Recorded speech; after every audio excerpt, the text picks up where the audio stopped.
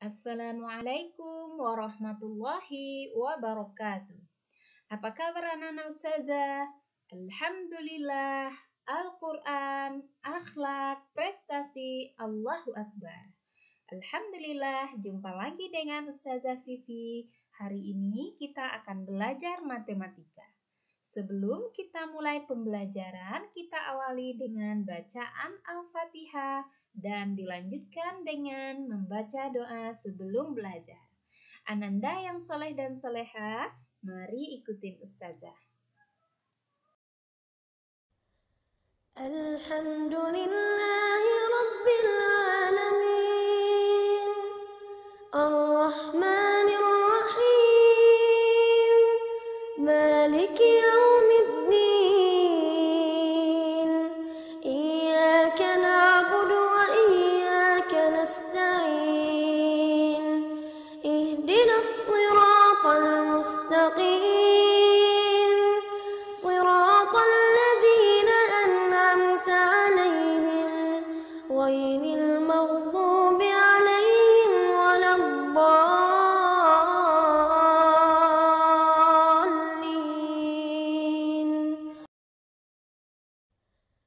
Alhamdulillahi Rabbil Alamin Ar-Rahmanir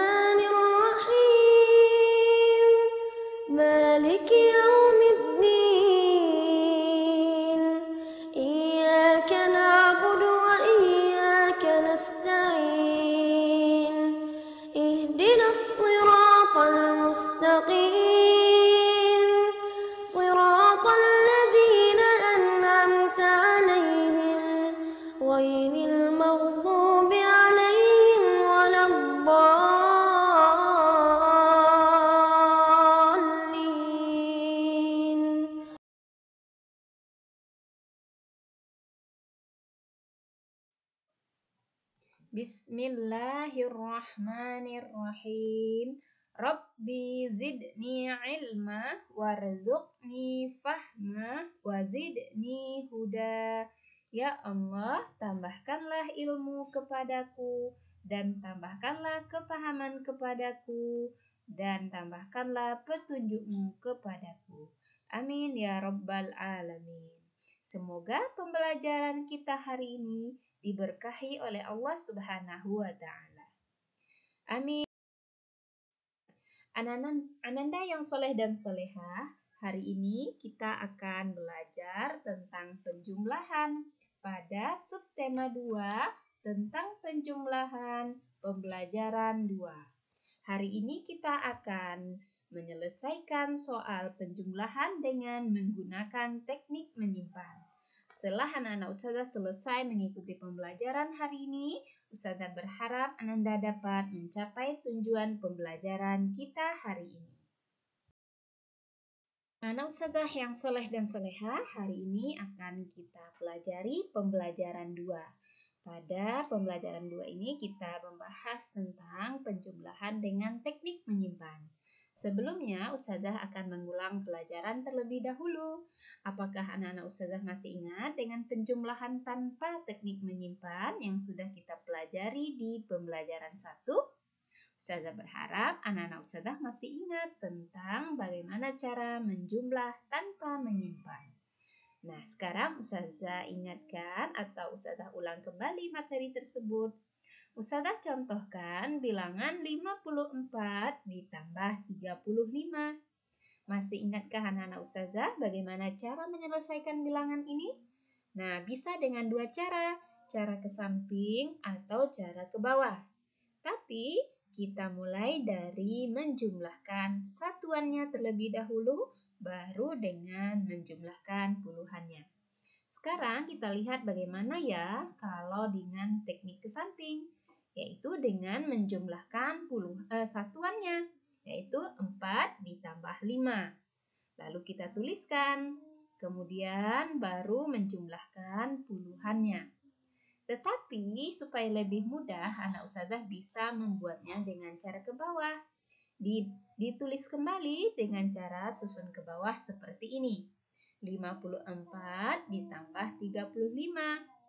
Nah, Kalau sudah seperti ini, kita mulai menjumlahkan. Ingat ya, kita mulai menjumlahkan dengan menjumlahkan satuan terlebih dahulu. Yang manakah satuannya? Ya benar, 4 ditambah 5. Berapakah 4 ditambah 5? 4 di kiri, 5 di tangan. Hasilnya adalah 9. Lalu kita tuliskan di bawah setentang juga dengan satuan. Lalu kita jumlahkan lagi puluhannya, yaitu 5 ditambah 3. 5 di tangan kiri, 3 di tangan kanan. Hasilnya adalah, ya benar, 8. Sekarang dapat hasilnya, yaitu 89. Nah ini dia Nana Ustazah tek, uh, menjumlah tanpa teknik menyimpan. Ingat ya Nana Ustazah, menjumlah itu kita mulai dari satuan karena berhubungan dengan pelajaran kita setelah ini. Jika anak ustazah memulainya dengan puluhan baru de, baru satuan, anak ustazah bisa um, menghasilkan jumlah yang salah. Nah, sekarang kita lanjutkan ya, Nak. Kita lanjutkan dengan menjumlahkan dengan menggunakan teknik menyimpan. Kalau tadi tanpa menyimpan itu gampang, sekarang bagaimana dengan menyimpan? Kita sudah bahas sebelumnya, tapi Ustazah akan mengulang supaya anak Ustazah jauh lebih paham. Ustazah contohkan bilangan 37 ditambah 48. Nah, supaya gampang kata Ustazah tadi, kita akan merubahnya menjadi cara susun ke bawah. Kita tulis seperti ini. 37 tambah 48. Ingatkan anak-anak ustazah, kita mulai dari satuan terlebih dahulu. Kita jumlahkan satuannya ya. Nah, yaitu 7 ditambah 8. Kita tulis di samping seperti ini. 7 ditambah 8, 7 di kepala, tambah 8 di tangan, atau sebaliknya dapat hasilnya 15. Nah, kita tidak bisa langsung menuliskan di bawah puluhan ini, di bawah satuan ini. Tetapi kita harus urai. Kenapa? Karena hasilnya dua angka. 7 ditambah 8 kita tulis seperti ini, 15. Lalu, angka 5, angka yang paling belakang, kita akan pindahkan ke bawah ini, sebawah satuannya. Lalu angka satunya kita akan simpan di atas puluhan. Kita letakkan di atas puluhan seperti ini. Nah, setelah ini apa ya yang harus kita lakukan? Ya, kita lanjutkan menjumlahkan puluhannya lagi. Yang mana ya yang puluhan? 3 ditambah 4 ditambah 1 yang tadi kita simpan. Kita tulis juga seperti ini. 1 ditambah 3 sama dengan 4 ditambah 4 sama dengan 8. Dapat hasilnya 8, kita pindahkan di bawah puluhannya. Sekarang dapatlah hasilnya 85. Kita pindahkan ke atas 85. Nah, anak-anak ustazah, begitu pentingnya kita mulai dari satuan. Karena jika anak ustazah mulai dari puluhan, maka hasilnya pasti salah. Seperti ini ya nak, bagaimana? Kita lihat contoh soal berikutnya. Ustazah akan memberikan contoh penjumlahan 46 ditambah 19. Nah, sama dengan tadi, soalnya kita rubah menjadi susun ke bawah. 46 tambah 19, seperti ini. Nah, bagaimana caranya? Sama dengan tadi ya, jangan lupa kita bulatkan atau kita tandai yang menjadi satuan. Ingat, yang menjadi satuannya di sini adalah 6 dan 9. Lalu setelah kita tandai, baru kita tulis di samping untuk dijumlahkan. 6 ditambah 9. Lalu kita cari 6 di kepala, 9 di tangan. Dapatlah hasilnya 15. 15. Nah, hasilnya apakah kita langsung tulis di bawah 6 tambah 9 ini? Tidak. Kita harus urai. Ingat, kita harus urai. Kenapa kita harus urai? Karena hasilnya dua angka. Jika hasilnya dua angka, kita tidak bisa langsung menulisnya, tapi kita urai terlebih dahulu. Yang mana kita urai lebih dahulu? Ingat ya, Nana Ustazah, yang menjadi satuan atau yang angka paling belakang yaitu angka 5 akan kita pindahkan ke bawah setentang dengan satuan yang tadi kita jumlahkan. Lalu tinggal angka satunya di sini. Apa yang harus kita lakukan? Ya, angka satunya akan kita simpan di atas puluhan. Nah, Lalu, jika sudah seperti ini, apa yang harus kita lakukan? Ya, anak-anak ustazah hebat. Kita akan melanjutkan untuk menjumlahkan puluhannya lagi. Yang mana ya yang puluhannya? Ya benar, satu ditambah empat ditambah satu.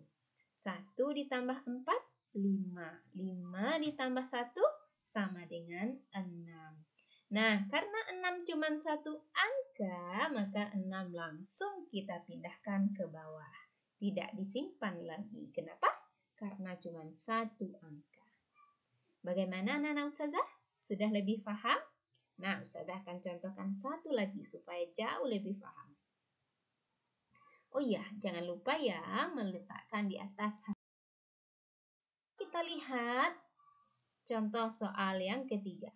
Ustazah umpamakan, Ustazah contohkan bilangan 38 ditambah 56.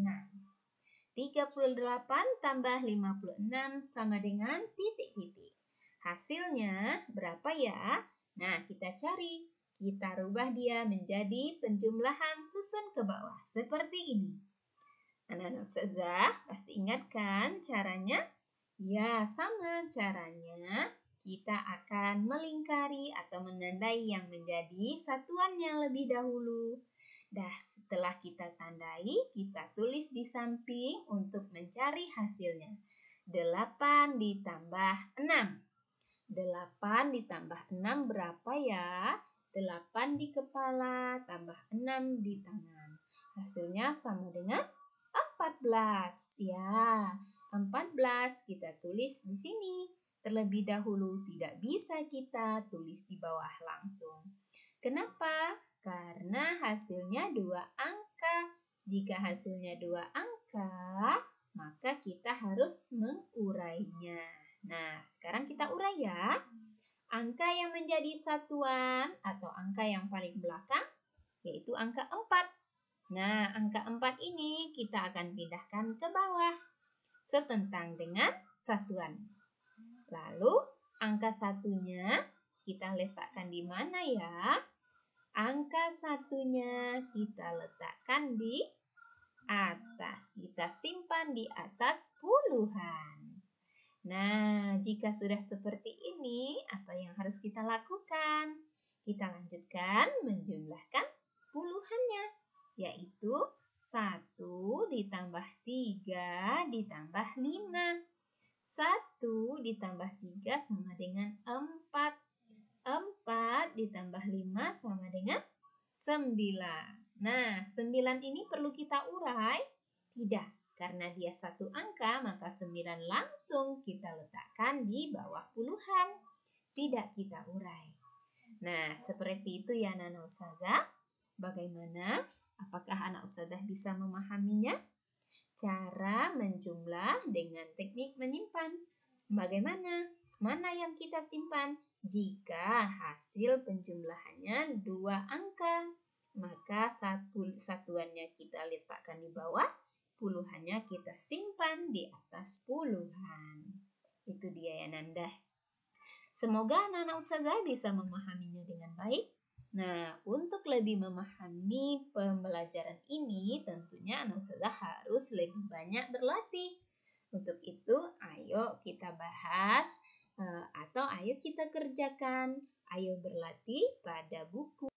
Nah, anak-anak ustazah, sekarang ustazah sudah selesai menerangkan.